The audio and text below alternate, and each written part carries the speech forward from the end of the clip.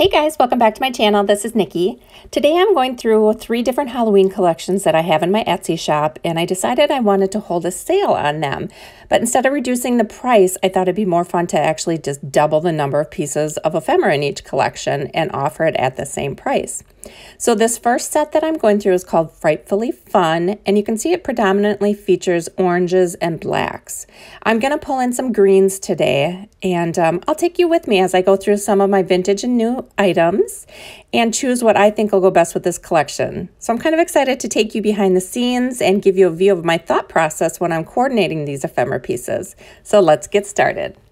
So this one is called Frightfully Fun if you're looking for it um, in my shop. So I pulled a couple things that I thought would match. I'm just going to lay them out. So the first one is a Halloween bag. So I'm going to add that bag. These milk caps. So I'm going to add one of those. These are vintage. Uh, like sweep would go with like the broom. So I'm going to add that one here.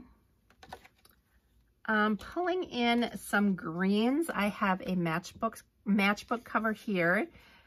I'm going to add that. I wanted to add some um, vintage seam binding or rickrack. So I have these colors that I was going to pull into each collection. So I think the black would go really well with this one and I think the green rickrack would go really well. But I think I'm going to pull the black seam binding in with this one. So you'll get all of that. I've got these Happy Halloween wood veneer pieces from Target dollar spot. So I'm to add that. Got these black vintage letters that I think were like originally sign letters. So I was going to add that as the number six. I have some flashcards here that I haven't gone through, so I'm just going to see if anything would go with Halloween.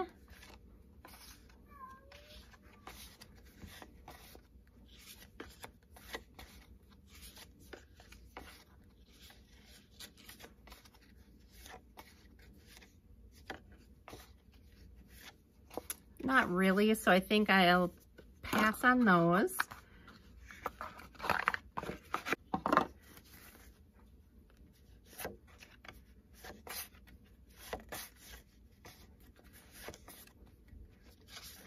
Cat um, I could do for Halloween. Just gonna think about that one.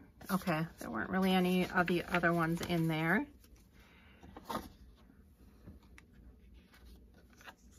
I think I'm to add that. Okay, I have some black envelopes that are hand addressed. Look at that. That's so neat, that writing on there. This one actually has some stamps on it. So I'm to add that. I'm going to have to start overlapping a little bit here, but that'll be okay. I've got some vintage Yahtzee scorecards. So I'm going to add one of those. This will be more for um, journal spots. Put that over here. Then I've got a, a file folder, file separator here for the month of October. So we're gonna put that in there. Got another envelope. These are just craft paper envelopes that are vintage. And then I have some paper that I'm also gonna add. This is actually just craft paper. I'm gonna add two pieces of that. And then I'm also gonna add two pieces of the lined paper. And I like these because they, they're not stark white. They, they're a little bit more cream. So I'm gonna add these four pieces. Okay, the next thing that I pulled was a page out of a Sears Roebuck catalog from, it's a 1902 edition. So what it is, it's just a replica print of it. So you kind of get the newer the newer looking pages, but with the vintage pictures. So this was a nice catalog that I picked up. So I took this one with the sickles and the pitchforks. I thought that was kind of creepy. I'm gonna slide that underneath there.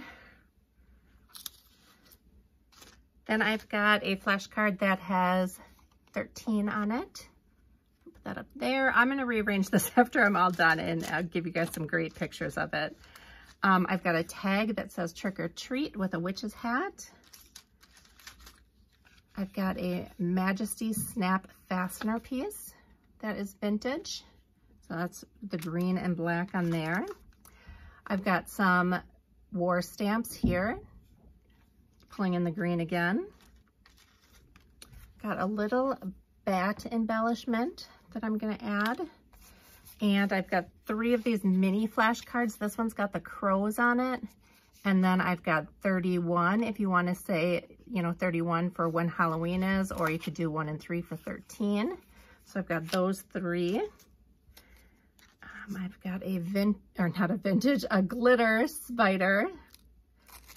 Um, a glitter pumpkin with a witch's hat. I've got a wood veneer witch's hat in orange. And then I've got these two, they're like cupcake toppers, but they look super vintage the way that the pumpkin and the cat are. And adding these two, that is 30 extra pieces. So I'm gonna count the total number of pieces in the collection and um, lay it all nice for you guys so you can see exactly what you're getting.